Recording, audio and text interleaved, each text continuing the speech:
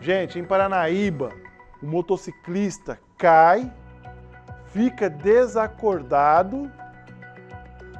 Veja só, e veja só o que aconteceu.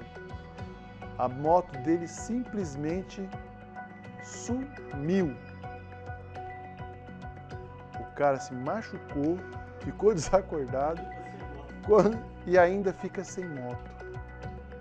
E o povo tá dando risada aqui da desgraceia aí.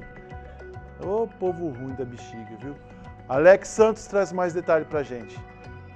É um acontecimento um tanto quanto inusitado. Um idoso de 66 anos procurou a delegacia para comunicar o desaparecimento de sua motocicleta, que sumiu depois dele cair e ficar desacordado. Ele conduzia a sua motocicleta na área central da cidade. Quando caiu, acabou batendo a cabeça e ficou desacordado.